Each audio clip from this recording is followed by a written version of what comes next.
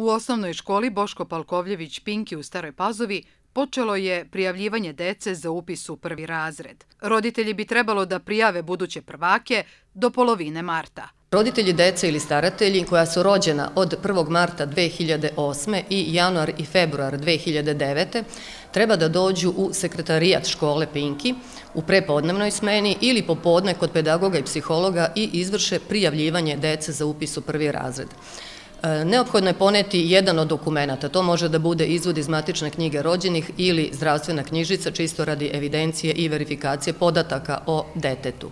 E, mi imamo spiskove već tako da teče i počelo je već jedno, ovo je treći, četvrti dan, ide nekim uhodanim tokom, ali očekujemo, još jednom ponavljam, do polovine marta da se izvrši prijavljivanje dece. E, upis počinje 1. aprila, ali o svim tim narednim koracima mi ćemo obaveštavati roditelji i staratelje preko vaspitačica. Prijavljivanje budućih prvaka počelo je i u osnovnoj školi Simeona Ranicki u Staroj Pasovi.